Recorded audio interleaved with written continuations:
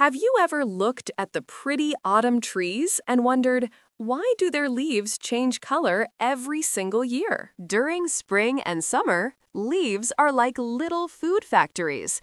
They are full of something called chlorophyll, which makes them green. Chlorophyll's special job is to soak up sunlight, helping the tree make its own food to grow big and strong. As fall arrives, the days get shorter and there is less sunlight. This is a sign for the trees to rest. The tree stops making green chlorophyll.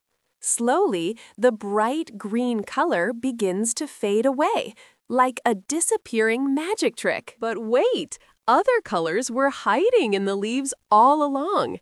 Yellow and orange colors finally get their turn to shine. The yellow colors, called carotenoids, are the same ones that make bananas and corn so yellow.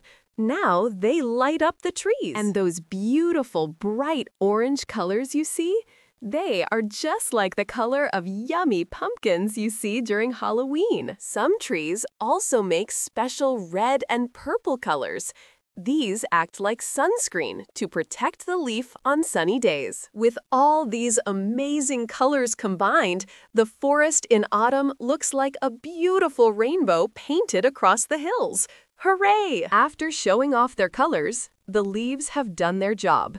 The tree lets them go, and they gently float down. The tree now takes a long nap for the winter, saving its energy to grow new green leaves next spring. So, the next time you are outside, pick up a fallen leaf and see what amazing hidden colors you can find. Did you enjoy our colorful adventure? Please subscribe to our channel for more fun science videos just like this one.